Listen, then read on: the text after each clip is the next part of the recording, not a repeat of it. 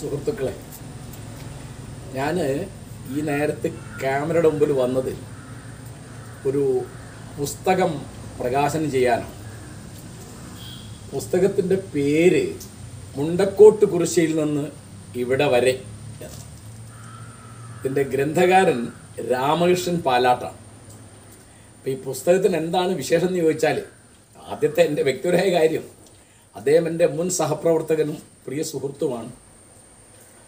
പിന്നെ അദ്ദേഹം സാധാരണഗതിയിൽ ധാരാളം എഴുതുന്ന ആളല്ല. ഒന്നും എഴുതിയിട്ടില്ല എന്നല്ല അപ്പോൾ അദ്ദേഹം സ്ഥാപിച്ച പ്രശാന്തി സ്കൂളുണ്ട്. അത് ബുദ്ധിമാന്യം ഉള്ള കുട്ടികളെ പഠിപ്പിക്കുന്ന ഒരു സ്ഥാപനമായിരുന്നു. പത്ത് ഇരുപത്തി കൊല്ലം അദ്ദേഹം ജോലി ചെയ്തു. അതിന് അദ്ദേഹത്തിന് അവാർഡൊക്കെ കിട്ടി. അതിന്റെ ചരിത്രം എഴുതിയിട്ടുണ്ട്. പിന്നെ അത്തരം കുട്ടികളെ പഠിപ്പിക്കുന്ന പ്രശ്നങ്ങളെ പറ്റി എഴുതിയിട്ടുണ്ട്. പിന്നെ വേറെ അദ്ദേഹം ചില കാര്യങ്ങളൊക്കെ എഴുതിയിട്ടുണ്ട്. പക്ഷേ അടിസ്ഥാനപരമായി അദ്ദേഹം ഒരു എഴുത്തുകാരനല്ല എന്ന് പറയാം. അദ്ദേഹം സുവോളജി അധ്യാപകനാണ്. അദ്ദേഹം മുണ്ടക്കോട്ട് കുറിശി എന്ന് പറയുന്നത് പാലക്കാട്ടെ ഒരു ഉൾനാടാണ്. അദ്ദേഹത്തിന്റെ ജന്മദേശമാണത് എന്നുവെച്ചാൽ അദ്ദേഹത്തിന്റെ കുടുംബം അവിടെയായിരുന്നു. ഒരു പ്രഭു കുടുംബത്തിലാണ് അദ്ദേഹം ജനിച്ചത്.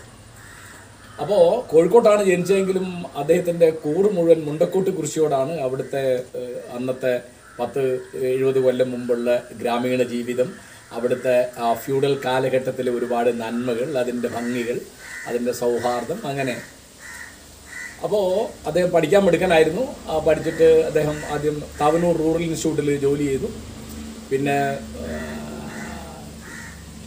Kozhikode government arts and science കോളേജിൽ ഞങ്ങൾ അവിടെ സഹപ്രവർത്തകരായിരുന്നു. അത് കഴിഞ്ഞ് കുറച്ച് കാലം അദ്ദേഹം കോഴിക്കോട് ക്ഷമിക്കണം കോഴിക്കോട് ജില്ലയിൽ തന്നെയുള്ള കോടഞ്ചേരി ഗവൺമെന്റ് കോളേജിൽ അധ്യാപകനായി. അന്ന് ഞാൻ അവിടെ ഉണ്ടായിരുന്നു. പിന്നെ അദ്ദേഹം അവിടെ പ്രിൻസിപ്പലായി. പിന്നീട് അദ്ദേഹം വീണ്ടും ആർട്സ് കോളേജിലേക്ക് വന്ന് അങ്ങനെ റിട്ടയർ ചെയ്തു. റിട്ടയർ ചെയ്ത് കഴിഞ്ഞപ്പോൾ അദ്ദേഹം ബുദ്ധിമാന്യം ഉള്ള കുട്ടികളെ പഠിപ്പിക്കുന്നതിന് വേണ്ടി ഒരു പ്രസ്ഥാനം ആരംഭിച്ചു. പ്രശാന്തി എന്ന് പറഞ്ഞു അപ്പോൾ അതിന് അദ്ദേഹത്തിന് അവാർഡ് കിട്ടി. അദ്ദേഹം അതിന്റെ വലിയ ചില അത്തരം കാര്യങ്ങളെപ്പറ്റി അദ്ദേഹം ധാരാളം പ്രവർത്തിക്കുകയൊക്കെ ചെയ്തു. അപ്പോൾ ഈ പുസ്തകത്തോട് എനിക്കൊരു പ്രത്യേകമായ ആഭിമുഖ്യമുണ്ട്. അതെന്താ വെച്ചാൽ ഇത് അദ്ദേഹം സാധാരണഗതിയിൽ വിചാരിക്കുന്ന മാതിരി പാലാട്ട് എന്നാണ് ഞങ്ങൾ അദ്ദേഹത്തെ വിളിക്കുക. പാലാട്ട് ഇരുന്ന് എഴുതിയ ഒരു പുസ്തകമല്ല.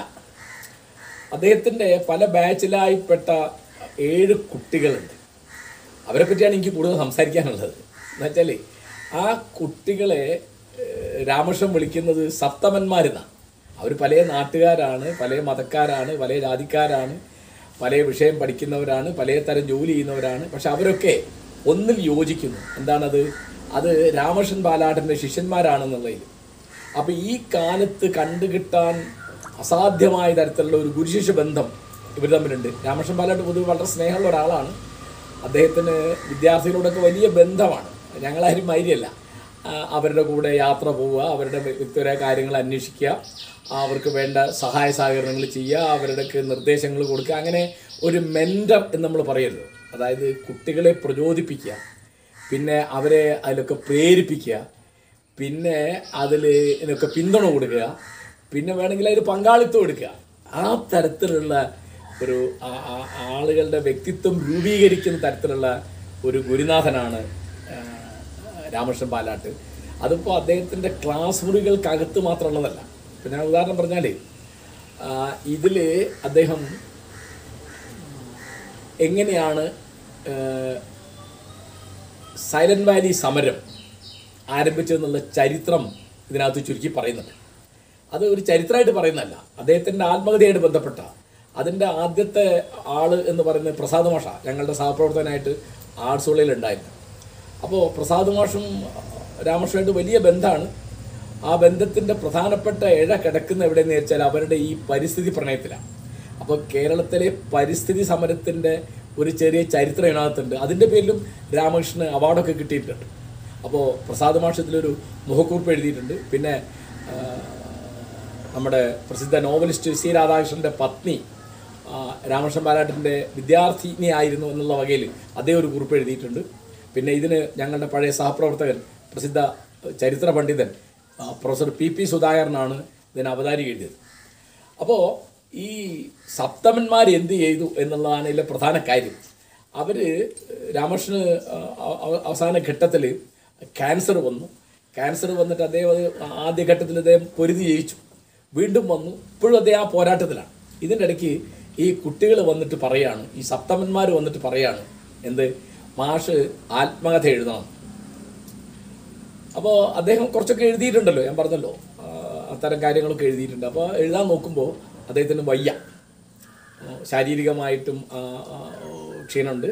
പിന്നെ കൈകൊണ്ട് എഴുതാനുള്ളൊരു വശതയൊക്കെ കുറഞ്ഞു. അപ്പോൾ അദ്ദേഹത്തിന് പത്ത് എഴുപത്തഞ്ച് വയസ്സാവുകയാണ്. അപ്പോൾ എന്ത് സംഭവിച്ചു? ഇവർ പറഞ്ഞു മാഷത് പറഞ്ഞാൽ മതി. അതൊരു കാസറ്റിൽ നിന്ന് പകർത്തി ഞങ്ങൾ പുസ്തകം ആയിക്കോളാം അങ്ങനെ ഈ പുസ്തകം ഉണ്ടാവുന്നത്. ഇത് ഇതിന്റെ എല്ലാ പണിയും എടുത്തത് അവരാണ്. ഇത് പണം മുടക്കി അച്ചടിച്ചത് അവരാണ്. ഇതിന്റെ പ്രസാധകന്മാരുടെ പേര് കൊടുത്ത സപ്തമാസ്ത സപ്തന്മാർ എന്നുള്ളത് പാലാട്ട് അവർക്ക് കൊടുത്ത ഒരു പേരാണ്. അപ്പോൾ ഞാൻ അപ്പോൾ അതിലൊരു മുഖവരിൽ അവർ പറയുന്നുണ്ട് ഇത് ഗുരുദക്ഷിണയാണോ? എന്ന് ഞങ്ങളോട് ചെല്ലു ചോദിച്ചു. ഞങ്ങളതിന് പറഞ്ഞ മറുപടി ഞങ്ങളുടെ ഗുരുദക്ഷിണ ഞങ്ങളുടെ ജീവിതം തന്നെയാണ് എന്നാ അങ്ങനെയൊക്കെ പറയുന്ന വിദ്യാർത്ഥികൾ ഈ ഘട്ടത്തിൽ ഉണ്ടാവുമോ ഈ കാലത്ത് ഉണ്ടാവുമോ ഞാൻ ഈ പുസ്തകം കിട്ടിയപ്പോൾ രാമകൃഷ്ണൻ കത്തയച്ചേ പറയുന്നു ഞങ്ങളുടെ കൂടുതൽ ഏറ്റവും ഭാഗ്യവാനായ അധ്യാപകനാണ് പാലാട്ട്. കാരണം ഇങ്ങനെ കുട്ടികളെ സ്നേഹിക്കുക. അങ്ങനെയുള്ള അധ്യാപകരെ ഞാൻ അപൂർവമായിട്ട് കണ്ട് ധാരാളമായിട്ട് എല്ലാം മറന്ന് കുട്ടികളെ സ്നേഹിക്കുക. അത് തിരിച്ചു കിട്ടുന്നത് അപൂർവം അങ്ങനെ പല കുട്ടികൾക്ക് കൊടുത്ത സ്നേഹം തിരിച്ചു കിട്ടാതെയും ചിലപ്പോൾ അതിന് വിപരീതമായി തിരിച്ചടികൾ കിട്ടിയൊക്കെ ഞാൻ കണ്ടിട്ടുണ്ട്. രാമകൃഷ്ണന്റെ കാര്യത്തിൽ അത് വളരെ ഭാഗ്യമായിട്ട് തീർന്നു. അദ്ദേഹത്തിന്റെ യാത്രകൾ ഇതിൽ പറയുന്നുണ്ട്. ഇതിൽ അതിന്റെ വിശദാംശങ്ങളൊക്കെ ഉണ്ട്.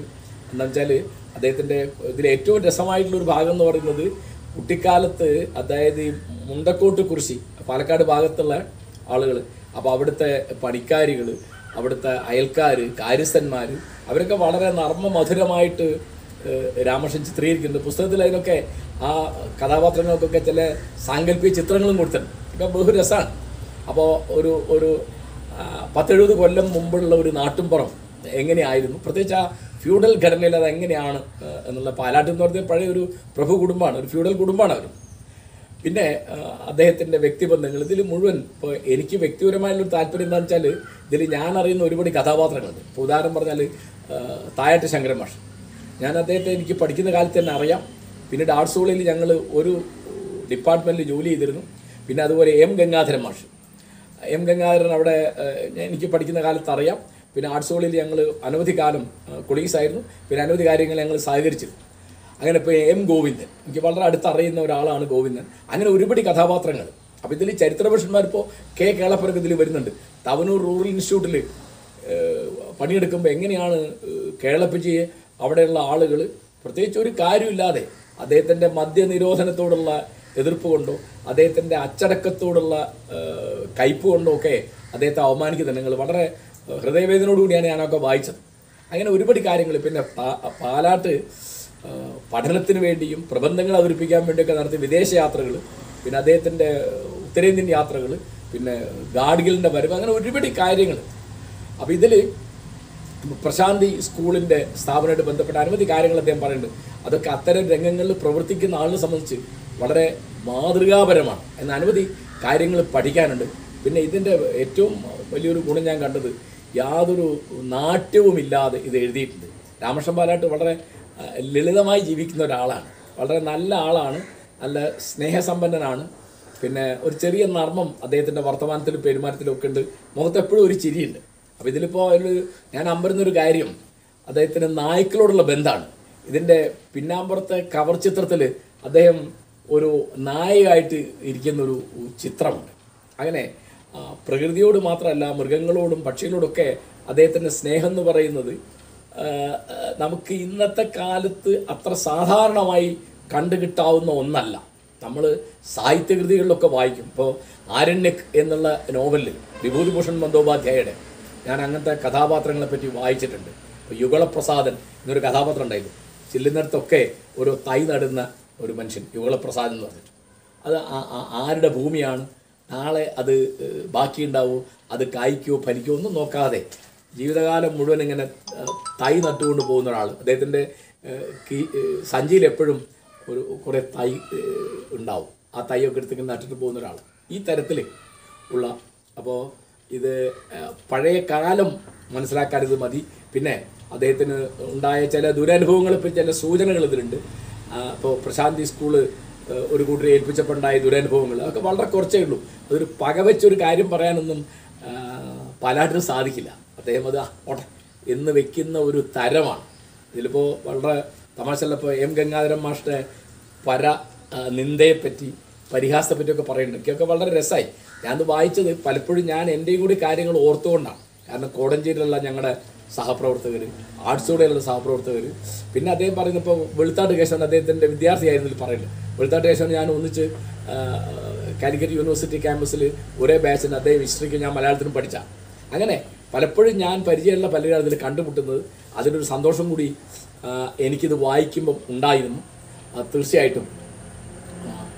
മലയാളത്തിന് ഒരു നേട്ടം ആണ് ഇത് എന്ന് ഞാൻ പറയും. കാരണം എന്താണ് ഈ പുസ്തകത്തിലുള്ളത്? ഈ പുസ്തകത്തിലുള്ളത് സ്നേഹമാണ്. അത് അദ്ദേഹത്തിന്റെ സ്നേഹം മാത്രമല്ല അദ്ദേഹത്തിന്റെ വിദ്യാർത്ഥികളുടെ സ്നേഹവും ഇതിനകത്തുണ്ട്. അത് വലിയൊരു സംഗതിയാണ് ഞാൻ വിചാരിക്കുന്നത് പ്രത്യേകിച്ച് പല തരത്തിലുള്ള കയ്പും വെറുപ്പും പടരുന്ന ഒരു കാലത്ത് എന്തിന്റെ പേരിലും വെറുപ്പ് ഉൽപ്പാദിപ്പിക്കുന്ന ഒരു കാലത്ത് എന്തിന്റെ പേരിലും ഹിംസ പ്രചരിപ്പിക്കുന്ന ഒരു കാലത്ത് ഇങ്ങനെയൊക്കെ ലളിതമായും സ്നേഹബുദ്ധിയോടുകൂടിയും ലോകത്തെ കാണുന്ന ആളുകളുണ്ടല്ലോ എന്നുള്ളത്. ഇതിലിപ്പോൾ രാമകൃഷ്ണന്റെ ജീവിത വീക്ഷണം ഇതിലൂടെ ഉരുത്തിരിഞ്ഞ് വരുന്നുണ്ട്. അത് തീർച്ചയായിട്ടും നമുക്ക് വളരെയധികം ഒരു ഒരു ഒരു അനുകൂല മനസ്സ് ഒരു ഒരു ഗുണശക്തി ഒരു പോസിറ്റീവ് എനർജി തരുന്ന ഒന്നാണ്. ഞാൻ വളരെ ആഹ്ലാദത്തോടും അഭിമാനത്തോടും കൂടി ഈ പുസ്തകം ചെയ്തായി ചെയ്തതായി പ്രഖ്യാപിക്കുന്നു. ഇതിന്റെ മുന്നിലും പിന്നിലും പ്രവർത്തിച്ച അദ്ദേഹത്തിന്റെ ശിഷ്യന്മാരായ സപ്തന്മാരെ എല്ലാ ഗുരുനാഥന്മാർക്കും വേണ്ടി ഞാൻ അഭിവാദ്യം ചെയ്യുന്നു. നന്ദി നമസ്കാരം.